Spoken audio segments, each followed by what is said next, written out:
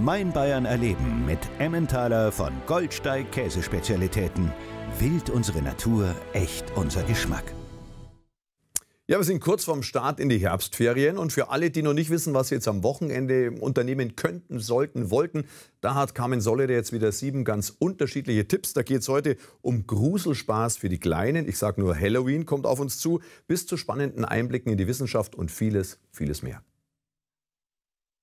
Kommen, entdecken, staunen, erleben ist das Motto der Erlebnisnacht im unterfränkischen Melrichstadt. Ein Abend voller Musikaktionen, Kultur und Shopping. Einen schaurig schönen Spaß für Kids gibt's am Samstag bei der Geistermeile im oberfränkischen Pegnitz mit Gruselschminken, Mitmachaktionen und Kürbisschnitzen.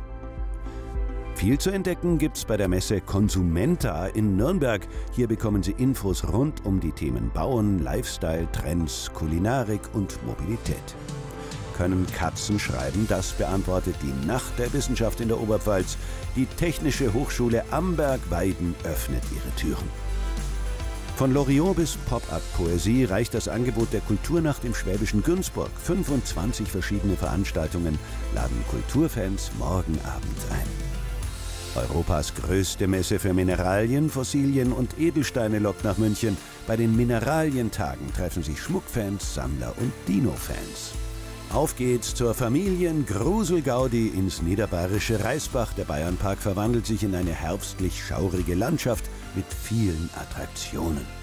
Alle Veranstaltungstipps auch auf sat1bayern.de. Mein Bayern erleben mit Emmentaler von Goldsteig Käsespezialitäten. Wild unsere Natur, echt unser Geschmack.